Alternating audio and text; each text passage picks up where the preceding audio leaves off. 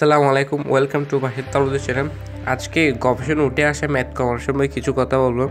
শুধু খাদ্য সঞ্জীবী হলে ম্যাথ কমে না, সেক্ষেত্রে রাতে পর্যাপ্ত ঘুমও জরুরি। যুক্তরাষ্ট্রের সম্প্রতি প্রকাশিত একটি গবেষণায় একথাই বলা হয়েছে। নতুন এই গবেষণাটি অ্যানালস অফ ইন্টারনাল মেডিসিন এ প্রকাশিত হয়েছে। ওজন নিয়ন্ত্রণে ঘুমের ভূমিকা রয়েছে বলে এই গবেষণায় প্রমাণ পাওয়া গেছে।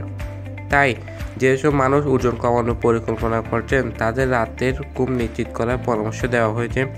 অতিরিক্ত ওজনের দশজন পুরুষ ও নারীকে নিয়ে এই গবেষণা চালানো হয়। গবেষণার প্রয়োজনে এদের দুই সপ্তাহ দুইটি পৃথক ঘুমানোর রাখা হয়।